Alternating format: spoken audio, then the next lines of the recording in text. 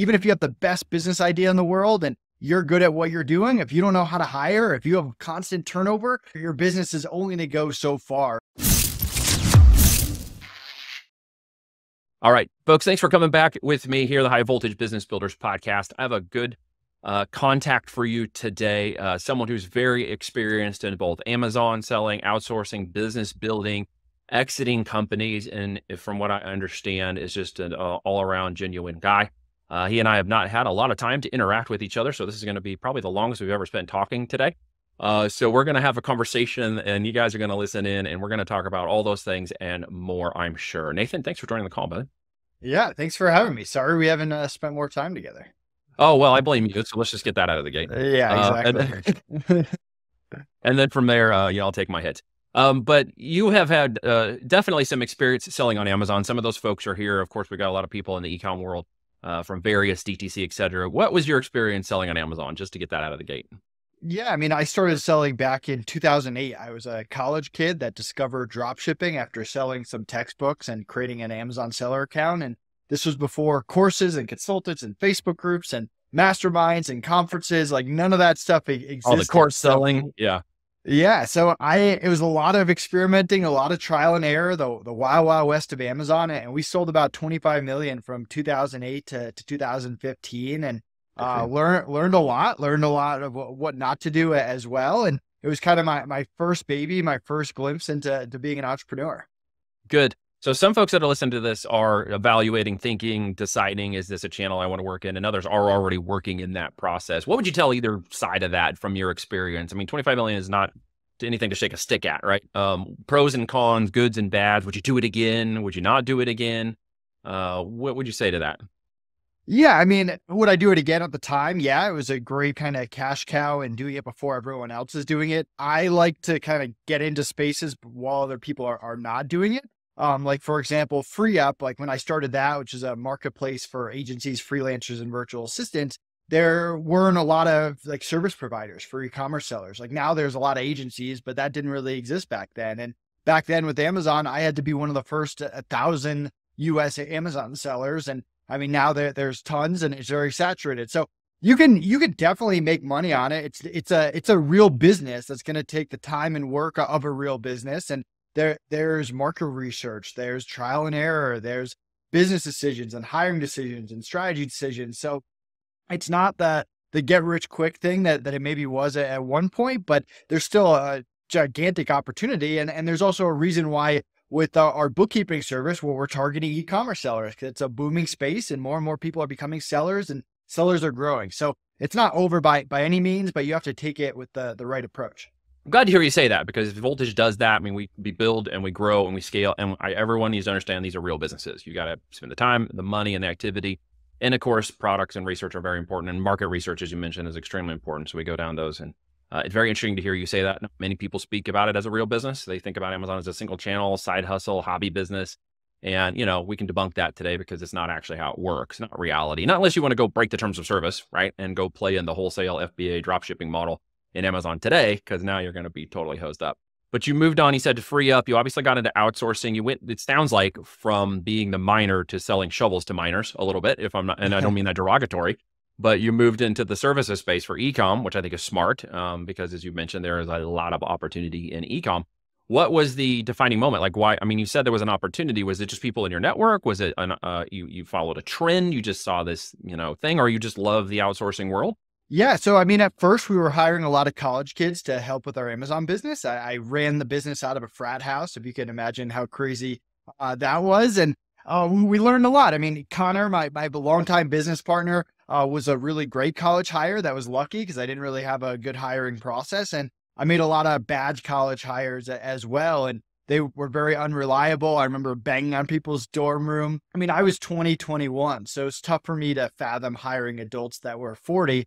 And, and a lot of them didn't really know what e commerce was. So we kind of turned to VAs and freelancers out of necessity to, to get help for this business that was growing. And I ended up building a really great hiring process that took years to, to develop. And we had a, a rock star team. And as Amazon was getting harder, I also started to just network with other Amazon sellers, which again was a, a brand new thing that didn't happen for the first few years that, that I was an Amazon seller. So talking to them, they had the same hiring processes. And it started off like, hey, can I lease your graphic designer? Can I lease your Amazon lister? Can I lease your customer service rep? And and that kind of gave us the idea for for starting our own marketplace, FreeUp. And we launched it with a minimum viable product, a, a software that did very little, and it quickly took off and surpassed our, our Amazon sales. And it was kind of a exciting time for us because we were doing B2B for the first time, building a brand for the first time, having our own website, learning SEO and partnerships and podcasts and all the stuff that, that goes with it. And we, we definitely like that more personally, opposed to selling products. It's more of just a, a personal preference.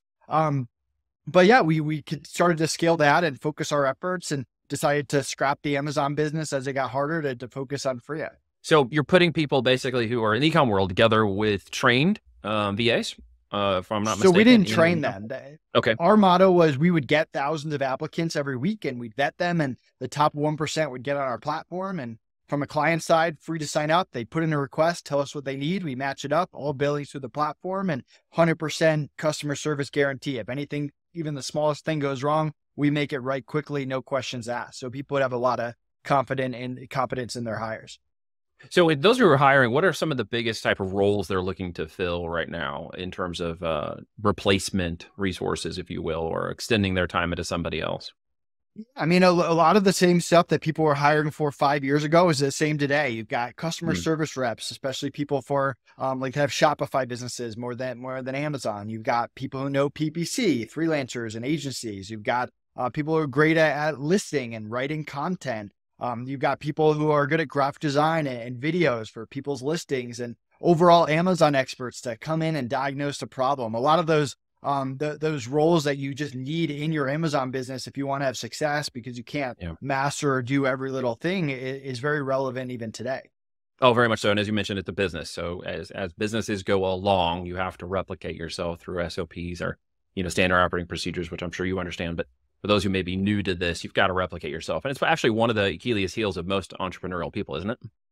Absolutely. I mean, most, most entrepreneurs, they don't focus on the, what I call the two unsexy parts of business, which is the finance and the hiring. And if you're, if you don't understand your numbers and you're not making decisions off numbers, very tough to scale. If you can't, even if you have the best business idea in the world and you're good at what you're doing. If you don't know how to hire, if you have constant turnover, your your business is only going to go so far. And th- there's so many things you don't need to learn as an entrepreneur. Like you don't need to master writing listings and and being a PPC expert and sourcing products. Like sure, if you're great at one of those things, it, it only helps you. But at some point, you can't become an expert at every little part of your business. So you have to learn how to delegate and you have to learn how to hire effectively.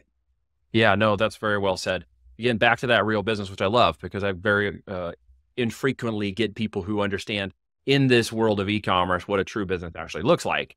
Um, and you know, you get that in other angles of business and folks I talk to because there's different scales and economies of scales, of course, across different businesses. But um, on the e-com side, you see a lot of ready, fire, aim uh, in this world, which doesn't lead people to, you know, some of the opportunities are missed, uh, frankly, uh, because they haven't been taught or don't understand, or maybe they just took a course and it didn't really help them understand why they chose the products. Now, the three that you particularly uh, angled in on, I think, are great. Maybe we can talk about those for a second. Product research uh, was definitely one of them. PPC was one of them, and listings. Uh, why did you pick on those three? I'm going to put you on the spot. Uh, yeah, I mean, that's more of just running FreeUp for four years. Those were probably the most common requests that we would get if you would check out yeah. the job board and see what people needed. Um, it's also stuff that like doesn't really go away. Um, like PPC still PPC listing people need. You need customer service in every business yeah. I've ever run. So, um, yep. it, it's kind of the, those standard roles, but I mean, th- there's other stuff too. You get VAs who are good at, at going through wholesale lists, for example, and finding profitable products, which needs really good SOPs and, and directions. Um, you have people that, that help build email lists and especially with Shopify, the, the marketing behind that and running Facebook ads. So yeah. There, there's plenty of other roles. Those are just kind of maybe the top ones that come to my mind. So where do you primarily find folks who become good VAs? Where are you? Are you sourcing from all the world? Is there a specific location? Like how? Uh, what do you find? Yeah, so I mean, I don't do this anymore because I, I exited FreeUp in 2019. But you said that, yeah, yeah, that's right. Yeah, but I mean, our marketplace was about 40% Philippines, 40% US, and 20% scattered around the world. Um, part of that's by design, just because we we know a lot of people in the Philippines and have a lot of um, just resources and connections there, and part of it's a little bit random of who actually applies and and gets onto the, the platform. But like even Ecom Balance today, it's a hybrid of US people here in Denver, high level bookkeepers, and high level bookkeepers in the Philippines. And it's kind of the, the best of both worlds where the clients get fair prices. And, and from our side, um, it helps for economies of scale. So you've shifted gears just a little bit and went from what appears to be, and correct me if I'm wrong, kind of more of the you know tactical aspects of the ecom world, uh, listing, product creation, customer service, into the financial side uh, more. Is that correct? Yeah, so we exited Free Up at the end of 2019, which was kind of a crazy time to, to sell a business. The original time, original plan was to take a few years off and travel the world. Uh, COVID kind of made it so we were stuck inside with no business to run and, and nothing to do, and you can only watch so much Netflix. So uh, we we kind of got out there and, and built Outsource School, which is our hiring course. We teach people how we interview, onboard, train, and manage, and we still run that to this day. It kind of bought us some time to figure out what we really want to do next. And through a lot of bad brainstorming and um, different ideas thrown around and, and, market research, we we really like the the bookkeeping space. I mean, we credit um, bookkeeping to being a big part of how we've scaled our businesses, making good decisions each month, um, selling the company, passing due diligence, and the big question is: Is there a market? Is there a need, or is it saturated? And, and from our market research, we found a, a big market and some potential to to do it differently because we're entrepreneurs first and e-commerce sellers first. We're, we're not bookkeepers. So we're, we're good at hiring bookkeepers, but we know what entrepreneurs want and what they need and how to put things in a way that that's easy for them. So that's kind of the approach we've taken for the past nine, ten months as we, as we build this up. Yeah, as I constantly say to people, build uh, with the end in mind from the very beginning. And that is, of course, putting great bookkeeping in place and knowing your numbers. As you mentioned, we say by the numbers here obviously knowing your quarterly cash flows and your annual run rates and having good projections and, and running the business by the numbers, which so many sellers don't seem to catch on to that. So we're going to keep hammering that uh, for people who are in startup or somewhere in the middle or, you know, are growing a business, getting the numbers is important.